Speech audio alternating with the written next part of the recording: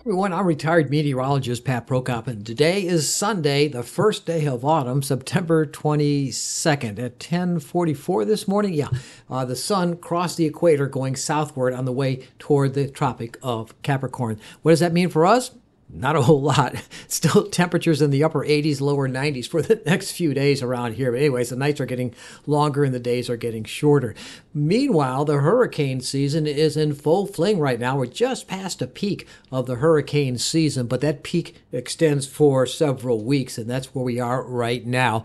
And a lot of activity brewing in the tropical Atlantic Ocean and particularly in the Caribbean Sea. So, let's take a look at the National Hurricane Center graphic, and it shows uh, some areas of concern out in the central portions of the tropical Atlantic Ocean, but more so in the uh, western and northwestern Caribbean Sea. There's an area here that is has the possibility of development over the next 48 hours at 40%, and then at uh, day three, four, uh, Wednesday, uh, Tuesday, and Wednesday, it has an 80% probability of a tropical depression or tropical storm uh, forming in this area. It looks like it's a pretty good bet that 80% probability will take hold, particularly by Wednesday. And this system will be affecting us perhaps by Thursday, maybe even as early as Wednesday night. But Thursday looks a little rough across the southeast United States. So let's take a look at the satellite imagery first of all.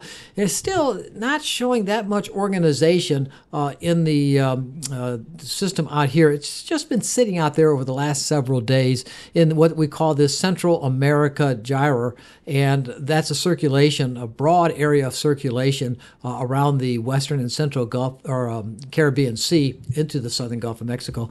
And uh, th- this system is eventually going to break loose and it's going to start moving northward. And as it does, it's going to start moving into some very warm waters of the uh, Caribbean Sea and, of course, the Gulf of Mexico. Here's the computer models right now and it shows the uh, system. This is the GFS, the Global Forecast System, or the American model, showing the system getting somewhat organized.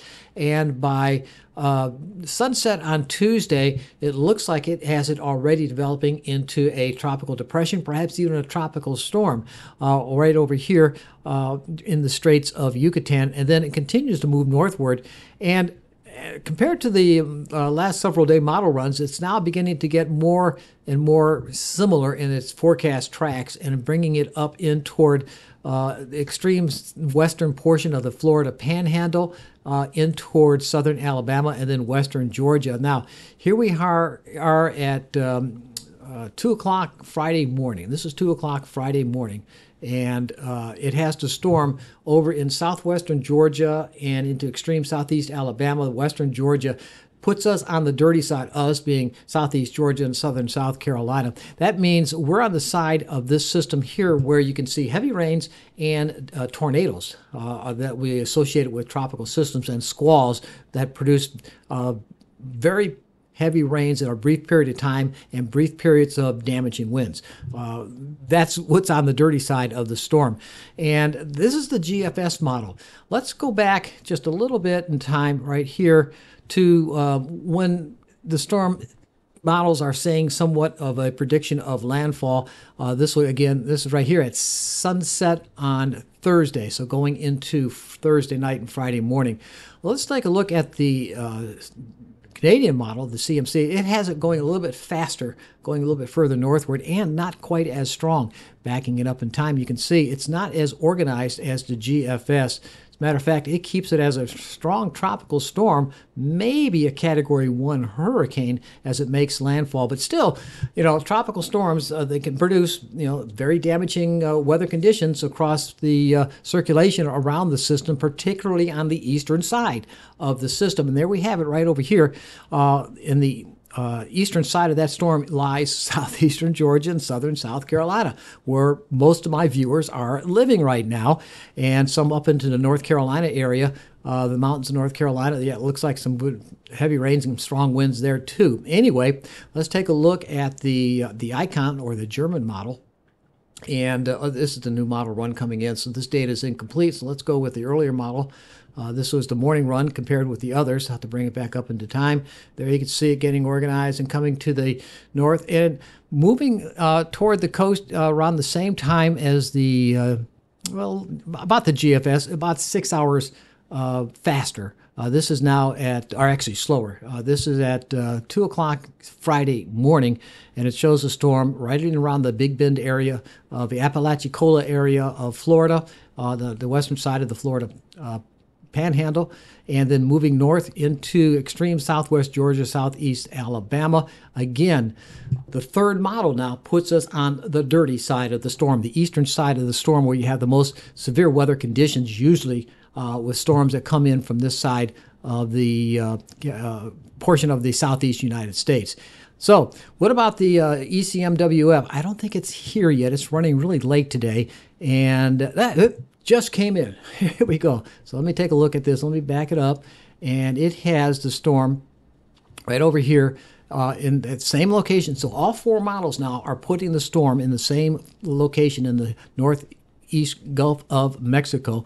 Now, this one here is at 2 o'clock Thursday afternoon. So, the ECMWF, or the European Center for Medium Range Weather Forecasting, uh, puts it into uh, actually a little bit further east. It goes into southwestern Georgia and then moves up into central Georgia, which again puts southeast Georgia, southeast South Carolina on that dirty side of the storm. The side of the storm you really don't want to be on. And that's where the models now are indicating for Thursday night and through Friday. Uh, looks like the uh, systems will be moving on past through our area. But the key here is uh, another feature. They're all showing the system to continue on moving, not parking itself like several other past storms, dumping very heavy rains. This one looks like it's going to keep on moving. So we'll keep an eye on that. Um, and what else is shows another storm developing out in the tropical Atlantic Ocean, but that one looks like it's going to curve off to the north. I'm going to take a look at that in a moment. Uh, I want to take a look at the precipitation forecast. Here's the GFS model, and this is as of uh, sunrise on Saturday. Total amount of rainfall uh, expected. And uh, coastal Georgia, South Carolina, according to the GFS, about two inches of rain, two and a half, maybe three inches of rain. Um, a little less in and around the Waycross area over toward Baxley and into Douglas, but farther west into uh, western Georgia and southeast Alabama and the, and the Florida uh, panhandle, very heavy rains.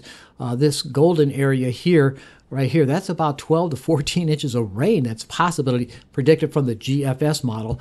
And then uh, uh, this uh, bronze area here, that's about six to eight inches of rain in western Georgia. It goes all the way up into the Macon area and just to the uh, south southwest of Atlanta, going into Athens uh, in northeastern portions of Georgia. What about the the, Canadian model, it's going to show a little less rain as that storm a little bit further westward. So less rain for the coastal Georgia and South Carolina, but more rain for eastern Alabama and western Georgia. Again, 6 to 12 inches of rain possibility forecast from that. I don't think it's going to be quite that heavy, but still uh, keep an eye on that. These are what the model's projections are indicating. And the icon model, uh, the German model, uh, again, uh, here we go. I got to back it up because new data coming in. Uh, need to refresh this for the uh, complete data set that came in earlier this morning, and uh, it is showing. There we go. Again, uh, some moderate rains in the greater Savannah area, southeast Georgia, Brunswick, uh, Jesup, Waycross. Um, about looks like around uh, three to four inches of rain, possibly five inches of rain, possibly. Very heavy rains in the northwestern Gulf of Mexico, but that's over water. Uh, as it moves on shore, it does weaken. All right, and the uh, the new model, the uh, ECMWF, let's see what the precipitation forecast is for that. And this is as, oh, let's go back to um, sunrise on Saturday, right there and it shows much less rainfall across southeastern Georgia and southern South Carolina. Uh, well, not much less, but two inches, two to three inches of rain, possibly uh, one and a half to two and a half inches of rain. And over in the central portions of Georgia, a little bit heavier amounts, three to four inches of rain, possibly out of there uh, with that system. All right, let's move on. Uh, let's take a look at the uh, total tropical Atlantic Ocean right now. And there's our system right at the moment over here in the uh, Western Caribbean Sea. And we're seeing some waves off the coast of Africa and uh, over into uh, central portions of the Atlantic Ocean. Let's put this into motion. And uh, we can see tropical waves. There's our system moving on shore, possibly, most likely, become Helene uh, as it develops. And we're seeing other storms possibly developing over here in the eastern tropical Atlantic Ocean. Let's track those over time, and it the models have them progressing eastward, but then turns northward in the middle of the Atlantic Ocean, making them what we call a fish storm. And they will continue to uh, move northward. Another one moves uh, to the uh, west, but then it too will curve off to the north. And uh, looks like it's not going to be an issue either. But oh, look at this another storm, according to the GFS model, forming in the uh, uh, Bay of Campeche in the southern Gulf of Mexico, right over here and it has it moving off to the north. But again, let's take this with a grain of salt because this is now a 384 hour forecast. And as I said, that's 16 days, which you really don't go on uh, go beyond five days uh, actuality when you look at these forecasts. These are just trends potential where systems might start developing. Keep an eye on that, but uh, I wouldn't hold my breath on that. Uh, over here, we're seeing the water temperature is very, very warm in the upper 20s and lower 30s Celsius. What is that? Uh, 30 degrees, I believe, is 85 degrees Celsius, 86. Uh, 31 is 88 degrees Fahrenheit. So, yeah, very, very warm waters right over where that storm is expected to go. So, that's going to be tapping into this warm water, which is the fuel supply for a hurricane. And we got to keep that in mind. The higher, it's like gasoline, the higher octane, the hotter the gas burns. And same thing with hurricanes, the higher the water temperature, the more energy is available uh, for the storm to work with, as long as everything else is working in its favor.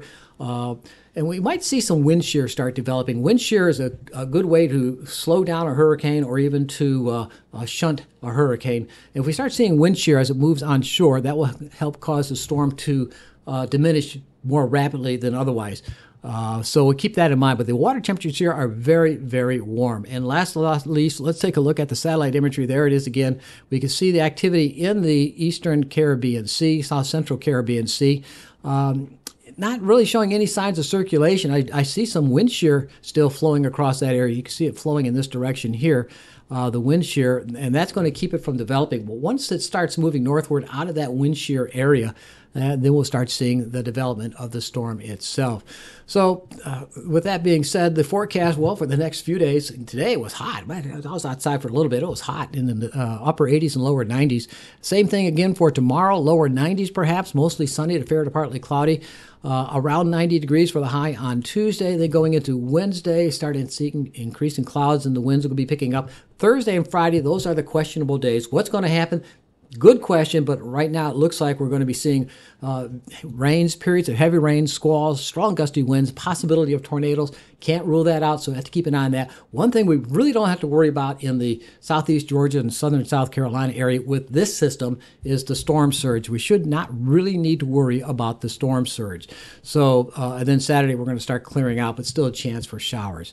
So keep an eye on the weather. Yeah, it's uh, definitely going to be active for this week, and looks like for the beginning of October later on next week, we're going to start seeing more activity. And again, we're in that portion of the hurricane season where every day you got to keep a look at the tropic. My suggestion is what I do every morning. Of course, I'm a weather geek, but uh, I, I, look at the National Hurricane Center Tropical Weather Outlook and see what's going on. And you can find that right on my webpage, uh, going down into the tropical area and storm areas, uh, severe and tropical weather.